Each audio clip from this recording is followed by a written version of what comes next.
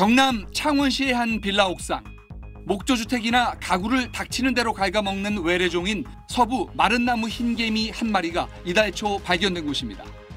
지난 5월 서울 강남에서 발견된 흰개미는 실내에만 서식하는 걸로 알려져 있지만 창원 흰개미는 실내외를 가리지 않습니다. 또 습기에도 강해 미국에선 연간 3천억 원 넘는 재산 피해를 일으킬 만큼 골칫거립니다. 이에 따라 정부 합동 조사팀이 최초 발견지 근처에서 추가 개체 확인에 나섰는데 흰개미 이어서 나온다고 신고를 해서 왔다고. 그래 저 붙여놨네요. 저 노란 종이 저 붙여놓고. 최초 발견지 100m 이내의 주택의 창틀과 지붕 및 목재에서 흰개미 수마리와 함께 배설물이 추가로 발견된 사실이 SBS 취재 결과 확인됐습니다. 특히 현장에 쌓인 배설물을 살펴보니 수년간 배설한 분량으로 볼 수 있다고 전문가들은 분석했습니다. 흰개미 군집이 국내에 정착한 지 이미 수년이 지났을 거란 얘기입니다. 전문가들은 창원에 어떻게 처음 유입한 건지 확인할 수 있는 상황은 지났다며 창원 일대에 확산했을 가능성을 제기했습니다. 최소 몇년 전에 얘네들이 우리나라에 들어와서 토착화 되면서 분산을 하기 시작했다는 아열대 자생종인 흰개미는 국내에선 겨울철 추위 탓에 그동안 정착이 어려웠지만 기후 변화로 기온이 오르면서 창원 같은 남부 지역에 우선 정착에 성공한 걸로 풀이됩니다. 군체를 찾아서 완전 박멸을 하면 되는데 그게 이제 생각보다 쉽지는 않기 때문에 그 성공한 나라가 지금까지는 없습니다. 지금으로선 시민 신고를 통한 실태 파악이 중요한 만큼 환경부는 조사 결과 확인 즉시 내용을 공개하기로 하고 주민들의 적극적 신고를 당부할 방침입니다. SBS 장세만입니다. 지난 5일 경남 창원에서 발견된 흰개미 사진입니다. 길이 1cm, 다 자란 생식개미인데 마른 나무 토막을 줬더니 갉아먹은 뒤 부스러기를 남겼습니다. 지난 5월 서울에 나타난 외래종 마른 나무 흰개미는 집안에서 발견된 반면 이번 개체는 옥상 외부 공간에 있었습니다. 신고자가 옥상에서 빨래를 말린 후에 그 빨래를 가지고 방 안으로 들어왔는데 그 빨래에 흰개미 한 마리가 있었습니다. 환경부 조사 결과 이번 흰개미도 마른 나무 흰개미과에 속하긴 하지만 종은 달랐습니다.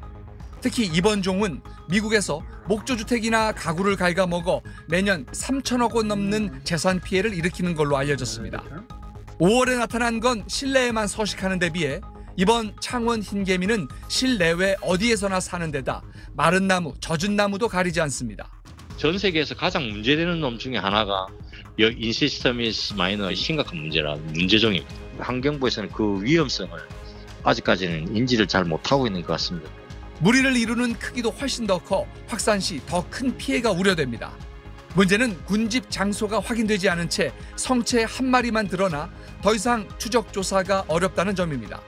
아열대 기후에서 자생하던 흰개미가 잇따라 국내에서 발견된 건 기후변화 탓이라는 분석입니다. 겨울철 기온이 오르면서 국내에서도 흰개미의 월동이 가능해지고 있다는 건데 기후위기 시대 외래종 대응책이 새로운 과제가 됐습니다. SBS 장세만입니다. 제주도 서귀포항입니다. 지상은 서늘한 날씨로 점점 가을로 향하는데 바다는 어떨까? 배를 타고 더 남쪽으로 내려가 바닷속에 들어가 봤습니다. 저희 취재진이 바닷속에 직접 들어와 봤는데요. 체감상 매우 따뜻합니다. 수온을 한번 직접 재보니 무려 30도가 넘습니다. 해수면 온도 측정 기준보다 더 깊은 수심 7m인데도 수온이 32도, 폭염주의보 수준입니다. 따뜻해진 바닷속에선 아열대종의 종류와 개체 수도 증가하고 있습니다. 지난 2019년 67종이었던 아열대종은 올해 91종으로 늘었고 제주에 서식하는 어종의 절반을 넘어섰습니다. 마치 로프처럼 생긴 관 해파리류 해파리도 보이고 손바닥만한 파란 고리 문어도 제주 해역에서 자주 나타납니다. 모두 독성이 있는 아열대 생물인데 최근엔 맹독성인 바다뱀도 발견됐습니다. 어느 시기에 어디에서 이렇게 자주 나오는지를 일단 파악하는 게 급선무라고 생각해서 모니터링 조사를 강화하고 터전을 쉽게 옮기지 못하는 토종 부착 생물들은 서식지를 잃고 있습니다. 대신 아열대성 돌산호류에 속하는 거품돌산호와 빛단풍 돌산호 등이 빠르게 퍼지고 있습니다. 실제 2014년 6cm 정도였던 한 개체는 5년 만에 20cm 가량이 더 자라 27cm 정도까지 컸습니다. 제주 연안에서 많이 잡히던 토시나 우뭇가사리의 생산량은 이미 급감한 지 오래. 기후변화를 막으면서 변해버린 환경에 대한 적응도 함께 고민해야 할 때입니다. SBS 서동균입니다.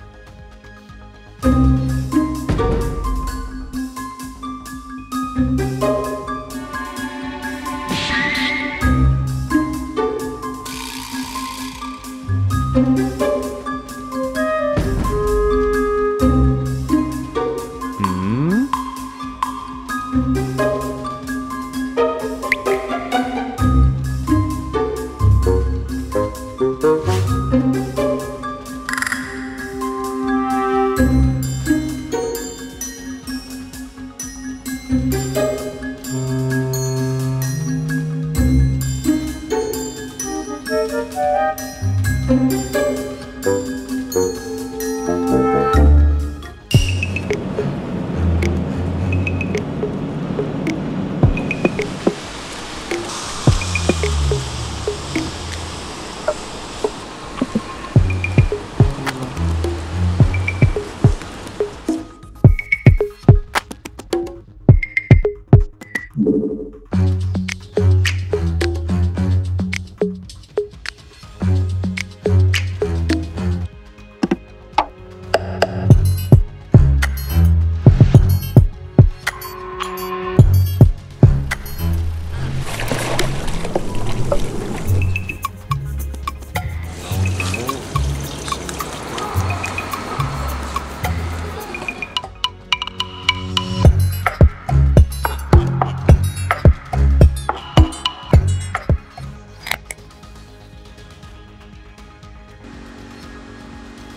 제주 시내 유명 관광지입니다.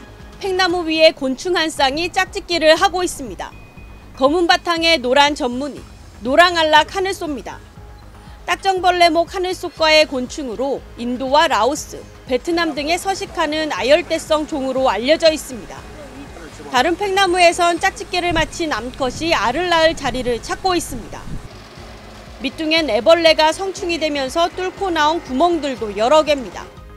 지난 2019년 노랑알락 하늘소 성충이 제주에서 처음 보고된 이후 이처럼 번식과 정착이 확인된 건 이번이 처음입니다. 그동안 아열대성 곤충은 우리나라 겨울을 나기 어려울 것으로 봤습니다. 하지만 기후변화로 추운 겨울엔 나무 속에서 애벌레 상태로 있다가 따뜻한 여름에 우화해 제주 지역에 적응하면서 토착화하고 있습니다. 아열대화로 인해서 열대성 해충들이 제주도에 많이 유입이 되고 있다는 그런 증거고요. 겨울철에 폐사를 많이 해야 돼요, 곤충들이. 그래서 이제 봄철에 나오는 개체 수를 조절을 해야 되는데 이런 게 안 되다 보니까 노랑알락 하늘소는 나무 내부를 갉아먹은 뒤 애벌레가 성충이 되면 구멍을 뚫고 나오는 천공성 해충입니다. 번식이 확인된 지역에선 곳곳에 구멍이 뚫린 고사위기에 처한 팽나무도 발견됐습니다. 어, 제주도에는 팽나무가 많기 때문에 이 팽나무 이외에 이런 뭐 멀구슬나무나 종가시나무에도 피해가 준다고 이제 알려져 있어서 이거에 대한 연구를 같이 진행해 나가도록 하겠습니다. 제주 세계유산본부는 제주가 다양한 아열대성 외래종이 타 지역으로 퍼지는 중간 기점이 되고 있는 만큼 이번에 번식이 확인된 노랑알락 하늘소가 다른 지역으로 서식지를 넓히진 않았는지 분포 조사를 확대할 계획입니다. JIBS 안수경입니다.